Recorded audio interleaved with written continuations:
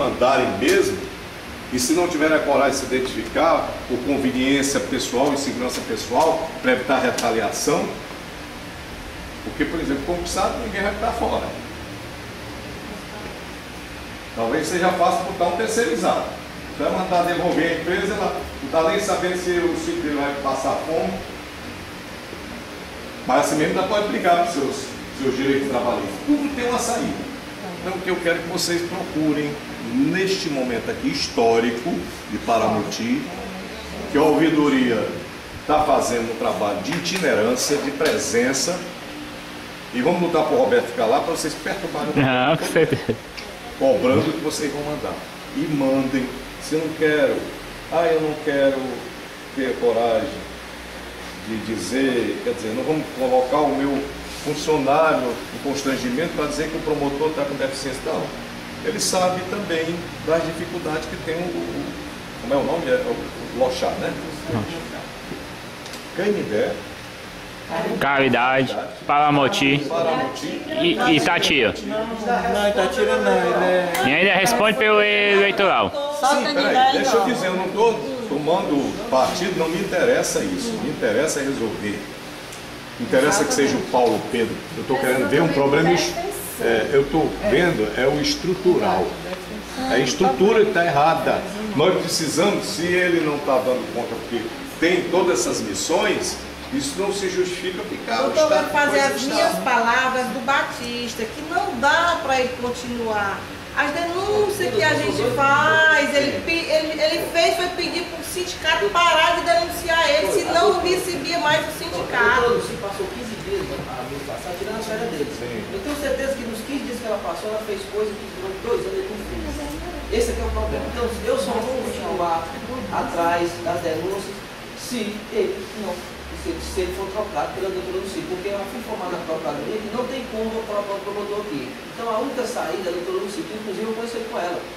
Ela disse que não teria nenhum problema. Ela está onde, a O Lucia? CNDE, Ah, ela tá na segunda vara. Então, são dois pedidos que eu queria fazer para o senhor. É Esse- pequena e grande. Pronto, esse pedido, esse pedido, e queria que se, se o senhor pudesse autorizar o, o seu assessor a comparecer amanhã às 10 horas na COCAP para ele representar o que as pessoas disseram aqui, porque eu vou representar a minha parte, que é a denunciante, e, vou, e queria que ele. Mas eu quero ir pessoalmente. Melhor ainda. Melhor ainda. Vai para puxar meu saco, mas eu não dá. Aliás, ele nem isso ele não precisa. Disse que era muito amigo do senhor. Aqui, a secretária, a secretária de Educação, o promotor pediu, né, não, não determinou que ela instaurasse o conselho do Fundeb, ela mandou uma chefe para a relação de 2007 e quantificou por isso mesmo. Aí não posso, não posso Bem, aceitar. não vamos deixar o caso específico, nós vamos falar aqui o que, que genericamente precisa. Uma representação forte, Presente aqui. presente do Ministério Público. Com E vocês, por extensão, entendem também que já precisa também uma Defensoria Pública e acessibilidade à justiça zero. É. Com certeza, Então, nós não temos. Doutor Roberto recebe isso de vocês, nesse contexto, e, de- e tira isso aí e encaminha para a Defensoria Pública. E você sabe, ontem houve até uma sessão, sabe como é o ouvidor A Mariana. da Defensoria Pública? Doutor Mariano. Ele é escolhido dos segmentos da sociedade, não é do quadro de defensores, não. Quem sabe se amanhã o é Ministério ótimo. Público não vai ser assim? Muito bom. O povo elegendo o seu, o Ministério Público elegendo o seu ouvidor lá no seio da, da- da- dos segmentos da, da população. Será maravilhoso. Então, se encaminha para o ouvidor da Defensoria, para a Defensora Pública e para a ouvidoria de lá. Problema do Judiciário. Há uma retratação em segmentos, vários segmentos reunidos numa reunião dessa, e há uma necessidade de um juiz mais permanente da comarca. Então, são essas coisas que a gente vai encadeando, vai desenvolvendo. E aquilo que for atribuição do Ministério Público, eu vou ficar cobrando. Eu não vou ficar aqui fazendo discurso bonito, mas também não estou prometendo nada. Estou dizendo que vou fazer dentro daquilo que é a atribuição do ouvidor, da ouvidoria e da assessoria. Mas que nós temos obrigação e compromisso de cobrar para isso, assumimos o compromisso. Um compromisso muito difícil. Porque você sabe uma coisa aqui para terminar, arrematar para vocês verem esse pronunciamento aí que o senador Paulo Paim achou interessante. Tá. Simplesmente, nós temos que entender nós temos que ter participação. O Brasil calado já desapareceu. O povo derrubou a PEC 37, o povo vai trabalhar mais para derrubar as injustiças sociais e as ouvidorias cresceram. Você quer saber, por exemplo, agora, eu como presidente do Conselho Nacional de Ouvidores, participei de uma comissão nomeada pelo Conselho Nacional para orientar, porque tinha alguns chefes do Ministério Público, que não é o meu, graças a Deus, não é? E tinha medo da ouvidoria. A corregedoria é o órgão disciplinar e vê o desvio de conduta do promotor, se for acaso ele praticar um crime ou praticar uma improbidade, etc, etc. Todos os desvios de conduta. As, a- as corregedorias insuflando o chefe, dizendo, olha, essa ouvidoria aí é uma, é uma corregedoria paralela. Mas é preciso que se entenda verdadeiramente esse tipo do papel da ouvidoria. Ela é o canal, é a voz de vocês. Eu sou apenas o procurador-chefe que vai levar os desaforos de vocês lá. Olha, chefe, lá no Paramoti está acontecendo isso. Não sei se por culpa pessoal do promotor, se é da estrutura da Procuradoria, que precisa colocar mais gente lá para que haja eficácia nas ações do Ministério Público. Olha, tribunal, nós tivemos uma reunião, estamos mandando aqui essa reclamação que sentimos de vários segmentos na reunião que teve lá. Que não criticaram pessoalmente o juiz, criticaram apenas a situação da necessidade que a comarca tem de, ao longo de muitos anos, um juiz presente, um promotor presente, um defensor. Então, isso eu falei. Agora, não vou pegar, doutor Cid, nome mais defensor, inclua um lá do Paramoti, que eu estou sendo leviano. Agora, o meu partido é o que vocês conheceram. É esta cara, tirei até o Oxford para ficar o claro. Viu? Mas vocês têm um, o seguinte, um aliado. Agora um aliado sem demagogia, sem promessas, tá? Além do limite, e dizer que este foi inaugurado num momento histórico para a ouvidoria do Ceará, porque poderá servir de exemplo para o meu sucessor em 2014. Eu vou ficar até julho. Depois vou esperar mais dois anos para me aposentar, morar seis meses em Portugal e seis meses aqui. Porque também a intolerância da violência já está insuportável. Ai Ele demais. Se sente totalmente, às vezes, desalentado. Afora todas essas outras mazelas da, da permissividade do poder, da- da- das corrupções, enfim. Mas o Brasil está gritando. Tá. O Brasil está falando. E o cidadãozinho do Paramoti, lá da, da, da- da zona rural, está sabendo ouvir televisão, Escutar o rádio. escutar a rádio e Internet, entrando lá na internet. E as redes sociais hoje É um chique, é um representam um monstro que causa dano. Agora, precisa ter responsabilidade. Não vão por nervosismo, sem- é, não vão ser irreverentes, manchar a reputação de alguém de uma forma. Por isso que eu disse, eu nunca citei, só citei agora o nome do colega. Eu citei aqui a necessidade de sentir de vocês, eu estou ouvindo, não a reclamação como do doutor Pedro João ou Paulo. Ouvi uma reclamação da necessidade da presença mais constante e efetiva do Ministério Público. Porque o que está aqui está com muitos encargos. Essa a maneira que eu tenho que encarar. Porque é mesmo. Eu não sei como é que a pessoa pode responder para a comarca, que a chefia estuda estratégia para resolver. Nós temos que ter criatividade também. Nós temos que ser criativos. Da ouvidoria, eu estou com três funcionários. Já mandei o projeto há muito tempo, ele não pôde fazer ainda, mas eu estou fazendo o quê? Criando condições. Ainda estou presidindo a entidade nacional que tem que levá-lo comigo para assessorar lá no a nível nacional, porque também tem que dar boa representatividade. Mas sim, muito obrigado pela convida, viu? Que realmente esse seja um momento que poderá ser repetido. Deus quiser, quem sabe eu prometo a vocês, antes de sair da ouvidoria, retornar aqui para fazer uma avaliação de pelo menos comandar as coisas E vocês podem cutucar o Roberto, porque ele me cutuca duplamente. Pode dizer, tem quem que foi e lá eu quero ir amanhã. Você passa no meu gabinete, você vai comigo. Entendeu? Essa é a palavra que eu queria dizer. Pois não. Não, só bem rapidinho deixar para a população que ainda não tiver, é, que o telefone da promotoria aqui é o 3320 1300. Funciona de 8 às 6 da tarde. 30, 23. Não, 3320 33. 1300. Quando eu não estiver, o Isaías está. É Isaías e você. Alternando. Alternando. Tá bom. Sinal que você tem compromisso. Você viu aí, né? Dá o seu contributo. Bem, pessoal, é- é- esse pronunciamento que o senador Paulo Paim fez foi uma carta que a gente elaborou Vai encerrar para você ficar com fome, né? em razão das manifestações que aconteceram logo no início, que causou aquele, até aquele início de quebra-quebra lá no Congresso Nacional. E a gente, como o Igor preside o Conselho Nacional de Ouvidores, a gente se sentiu na obrigação de, das ouvidorias do Ministério Público participarem e, e- e dar uma, como que um recado para as pessoas que se manifestam no país todo. Né? Aí a gente foi até Brasília, a gente, a gente sabia da nossa da necessidade de, da gente ser ouvido também, os representantes maiores da República repercutisse aquilo que a gente tinha como ansiedade, de fazer levar ao povo um canal viável, concreto, para exercer essa manifestação. E a gente encontrou um senador, que nem do nosso estado é, para que recebesse a nossa manifestação, né, vocês fazem com a ouvidoria, para que isso seja é, é, é, divulgado. Também, senhor presidente, deixar registrado hoje nos anais da casa a carta que eu recebi dos ouvidores do Ministério Público aos movimentos que estão acontecendo no país.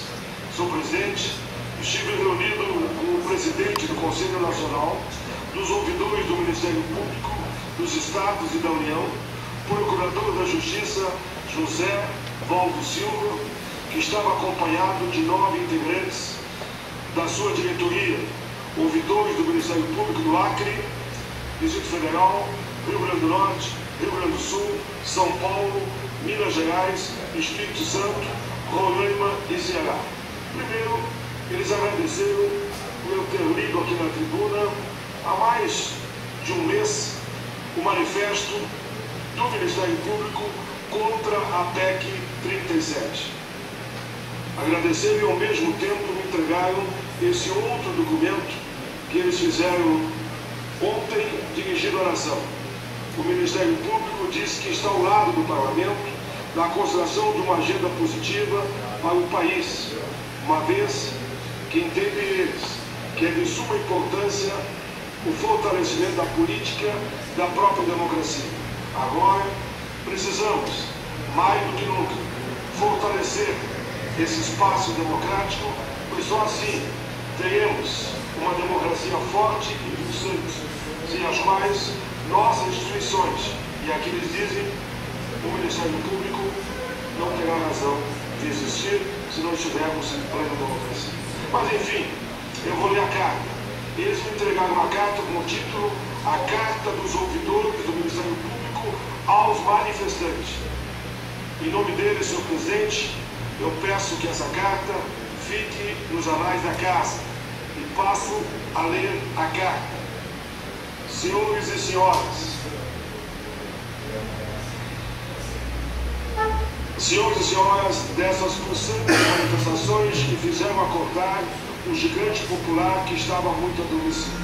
Louvamos essa vivaz demonstração de disposição, de participação na gestão pública, não apenas no que permite ao orçamento e à eficiência de sua utilização, mas sobretudo pela disposição de afirmar que estamos amadurecidos em pautar uma política que seja de tudo uma ressonância dos anseios do povo. Como todos sabem, o Ministério Público é grande, forte e atuante, graças às suas novas atribuições que lhe foram conferidas pela Constituinte de 1989. Lá fizeram construir o Ministério Público com atribuição para a defesa dos direitos fundamentais, da legalidade e da democracia, funções que honram a todos nós, razão pela qual nos empenhamos todos os dias para sermos dignos da missão que nos foi confiada.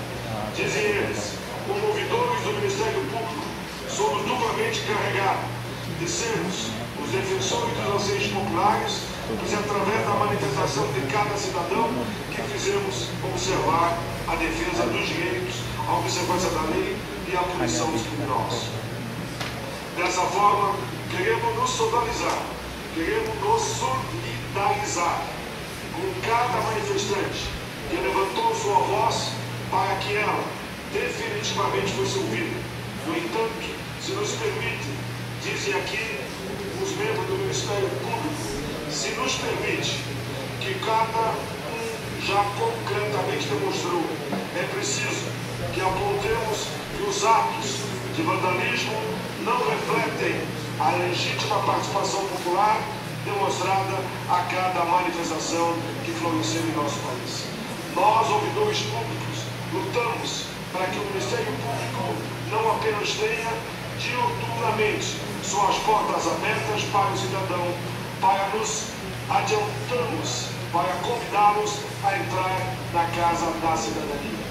Tanto é que estamos também em luta para que as ouvidorias sejam fortalecidas, razão pela qual agradecemos a demonstração de apoio para que a participação popular seja uma regra permanente em nosso país.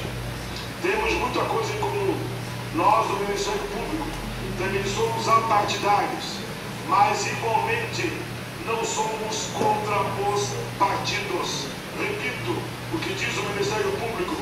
Nós, do Ministério Público, somos apartidários, mas igualmente não somos contra os partidos. Afinal, a democracia brasileira é representativa e é através dos partidos que construímos nossa democracia quando elegemos os nossos políticos. Assim, devemos ter o cuidado e não permitir que a política seja criminalizada, pois sem ela não haverá direito nem democracia e sem eles nossas instituições ruirão.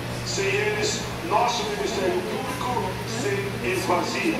Portanto, defendemos, defendamos nossa política, apesar de sempre lutarmos por sua melhoria. Esse é o nosso papel. Mas para tal, imperiosa é nossa luta por participação popular, pois o povo só é soberano se sua voz for concretamente ouvida e seus anseios efetivados. Nossas vozes ecoarão e serão plenamente ouvidas. Lembremos de Euclides da Cunha, que narrando o flagelo da guerra dos canudos em os sertões, apontou que o nordestino é, antes de tudo, um forte. Mas, nessa densa afirmação, ouçamos dizer que ele apontava que sua fortaleza estava na constante luta por uma vida melhor, que pelo mesmo apartado da justiça redobrava forças para que ela fosse realizada, que mesmo sem a presença do Estado e de suas instituições, Henrique Signado perseverava para construí-la. Agora vemos não apenas nordestinos, mas todos os brasileiros que, como um impávido colosso, reafirmam que o povo é soberano na democracia e deve sempre ser ouvido, fortalecendo o Estado democrático de direito. Defendemos, sim, nossa democracia, fortalecemos o direito na concretização dos direitos humanos fundamentais. Defendemos nossas instituições, cobrando-lhes a concretização de suas finalidades constitucionais. Defendamos nossa política e continuamos a exigir o seu aperfeiçoamento, pois sem eles nossa vida social se apaga e apenas a violência e o medo terão lugar. Somos 200 milhões em ação. Para frente, Brasil. Louvemos nosso povo, louvemos a democracia. Senhor presidente. Pronto, pessoal, isso é para ter uma noção que a gente também, no Ministério Público, a gente também da ouvidoria, a gente tem que ter uma participação social, a gente tem que levar ao conhecimento não só das nossas instituições locais, mas nacionais, da necessidade de participação popular. seja, a ouvidoria também tem necessidade de participar da construção de alguma coisa positiva, de uma, de uma, de uma pauta positiva para a nação. É tanto que a gente se sentiu na obrigação de encaminhar essa carta, pedir para que algum senador nos recebesse e que essa carta fosse lida. Ou seja, a gente tem que ir para Brasília, tem que fazer uma carta, tem que mandar e-mail para todos os senadores, falar com o pessoal do gabinete, explicar o que, que se trata, para que eles também tenham confiança naquilo que a gente leva para eles, porque vendo da seriedade do problema, eles aceitem nos receber, porque várias pessoas procuram, para que essa proposta da gente fosse levada em plenário. Então é essa a, a, a, a mensagem que a gente quer deixar para vocês. Que a gente necessita da participação, porque sem ela a gente não tem como dizer nem para o chefe, nem para o próprio promotor que existe um problema. Então é com essa interação, é, mas se, não, se ninguém disser, como é que a gente vai saber? Eu É acredito. claro, é claro. Eu acredito. É essa, é essa a missão da gente, né? É, é- é participar daquilo que nos, nos compete, que é, que é obrigado, que é fazer nosso, nossa função. Receber de vocês as reclamações e cobrar. Várias pessoas. Exatamente. Mas isso é uma semente que a gente está plantando, como o Dr. Valdo mesmo disse, que vai frutificar, que vai encorajar outras pessoas, que vai desenvolver. Eu acredito que- né? Neto, Eu acredito que com esse momento, com essa reivindicação aceita, essa carta aí lida e divulgada para muitos, e vendo a seriedade de vocês, eu acredito que até o governo federal ele possa melhorar a estrutura de vocês, vocês a gente, só vai, a gente só vai melhorar a nossa vida se a gente participar e cobrar melhoria. E eles vendo que o Ministério está trabalhando com seriedade, a ouvidoria também, Claro, eles vão tudo. melhorar tudo. A necessidade do quê? As necessidades obrigam, né? Quando é transporte, quando, quando Eu. Eu também falador. lá o Ministério de transporte, é pedir ao Zé transporte Mas em todo canto é saúde, é educação, assistência social, Segurança. é, é, é presença de um agente de saúde que vá na casa, é, é saneamento, é segurança. É- é- são tantas coisas que só são concretizadas se houver mobilização popular. Mas nós estamos dando aqui o primeiro passo, né? graças a Deus, nós Que vai se repetir, se Deus quiser, que vai encorajar outros lugares para também fazerem a mesma coisa. Assim, Claro, claro. eu, eu fui a primeira conhecedora da ouvidoria, eu que comecei tudo, aí comecei a pa- passar por batismo, não foi batismo? Eu estou tá muito satisfeito com a recep- receptividade que eu tive lá. Com certeza, pode confiar neles dois aqui, que é, com certeza o que vocês reclamarem vão ter. Mas a senhora só teve é, é, esse intercâmbio porque já estava procurando solução. Se uma porta se fechou, a senhora insatisfeita foi, a- foi atrás de uma outra porta que se abrisse. Então é essa, essa constância da gente na, na, na busca de melhoria que realmente a melhoria acontece. Queria, de, queria deixar uma lembrança aqui do município, né? E hoje é, hoje é Doutor. a, a última novena, né? é, Eu quero a caneca.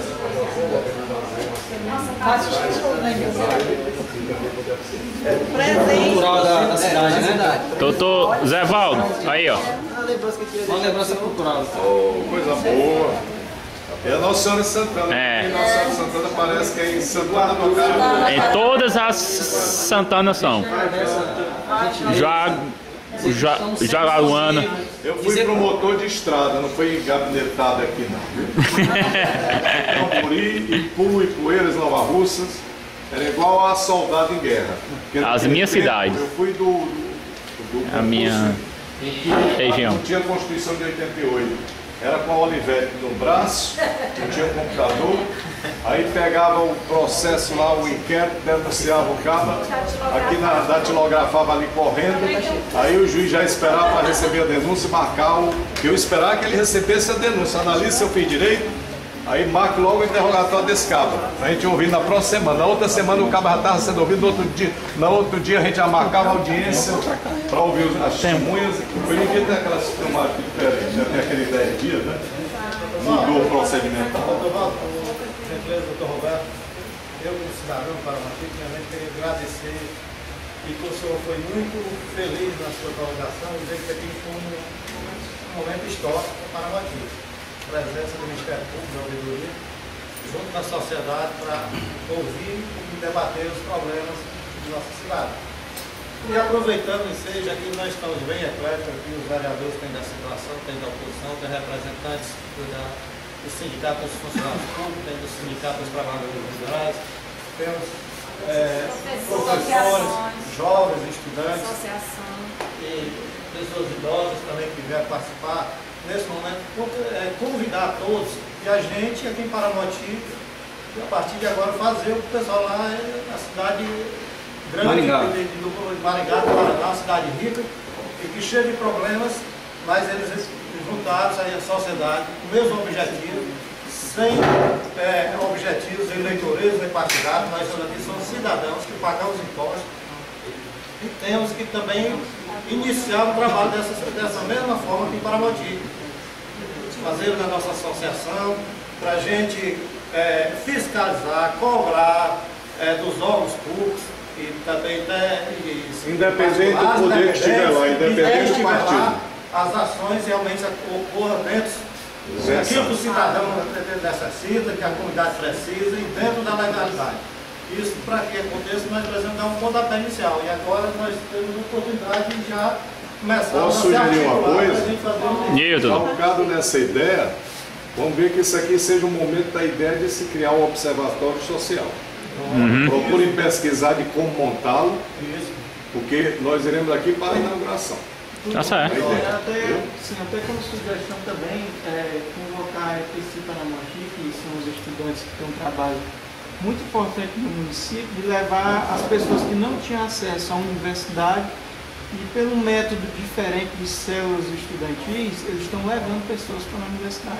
E é muito importante que eles possam E participar. eu vou voltar porque eu gostei muito de vocês, gostei muito da franqueza, gostei muito da, da, da cidade. Eu tinha uma curiosidade, eu passava para Canindé e tinha vontade de quebrar para a direita. Né? É, eu digo, Vou igual né? bom, chegou a oportunidade. E eu tinha curiosidade, eu achava essa palavra bem indígena, né? Paramoti. Moti. E é indígena. É. Estreita. Rio que se Rio que se estreita. Tá estreita. aqui o nosso ou intelectual? Rio, É, Rio Há que uma, se há uma estreita. divergência ainda entre os os historiadores. Ma- mais provável ser Rio Seco, mas assim, ainda não é uma coisa definitiva. É que, aliás, eu vi um rio seco que é aqui. o Rio né? Canindé que corta a cidade e é Rio Seco. Seco, Mas seco, também tem essa Tá. variação que pode, possa ser. aqui é o sertão Rio central. Ali em Tamboril também é essa região mais ou menos árida, né? É. Muita ventania seca. Eu compartilhei muito, por isso que eu aprendi a ser. Eu gosto de ser sertanejo mais do que fortalezense, sabe? Porque daqui a Sabe o que eu gostei A mais? minha mãe era do interior, então elas tinham aquelas raízes, ela nunca perdeu aquelas raízes. Eu ia para moagem, eu ia para a época de engenho, né, da rapadura, né, moagem, engenho, ta- tapioca, beiju, eu fui muito dessas coisas e adorava. Eu não gosto muito, o asfalto eu só gosto quando eu vou para resolver as coisas no banco para gente pagar o débitos. Mas a realidade é que eu gosto é do campo.